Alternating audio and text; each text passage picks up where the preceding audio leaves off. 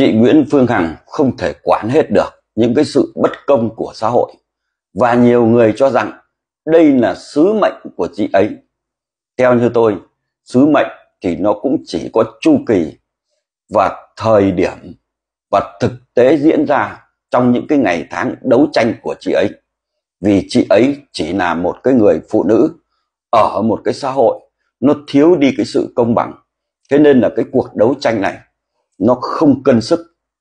Và chị là một cái người có tiền, giúp đỡ đồng bào, giúp đỡ nhân dân. Đây là những cái việc to lớn, ai cũng phải công nhận. Nhưng chưa đủ ở cái câu chuyện đấu tranh. Vì thời gian mà chị dính vào nao ní thì có hơn 2.000 quan chức tham ô, tham nhũng, sai phạm. Chị có quản lý hết được những cái bất công này không? Nhá chị phải nhớ rằng là đường nối của đảng và nhà nước, pháp luật là chuẩn. Nhưng có một số người, họ lạm quyền, lạm chức. Họ sai phạm. Điển hình như cái câu chuyện của chị là có một người lên đây đòi xử lý nghiêm trị đó là chủ tịch nước võ văn thưởng, liên quan đến cái sai phạm của cấp dưới của mình về tham ô tham nhũng. Đó rõ ràng là người ta sai thế nhưng mà người ta vẫn đòi xử lý nghiêm trị. Nha.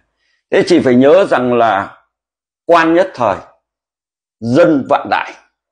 Thế nên là chị đụng đến những cái người mà họ còn đương chức, đương quyền. Thế thì họ có bật lại chị không? Đương nhiên là phải hạ bệ chị. Và đâu đó họ phải né đi cái sai phạm của mình, chứ không chị khui người ta ra thì sao?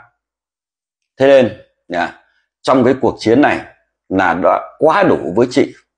Thế nên là dư luận cộng đồng rất chi là mong muốn chị dừng lại và chị vui chơi ca hát. Và hai nữa là cộng đồng rất thích những cái câu never của chị. Đó là quý vị ơi thấy tôi đẹp không? Và có cái câu hát anh ơi cho em đại nam này. Chị chỉ cần như thế thôi là những cái người yêu thương ủng hộ chị cảm thấy rất vui. Và những cái người mà đối kỵ ghen ghét chị à, nghe những cái chia sẻ như vậy và những cái câu hát như vậy là đâu đó họ cảm thấy rất chi là xấu hổ. Và cái cuộc đấu tranh của chị dư luận cộng đồng đến giờ này đã ghi nhận là những cái thành quả.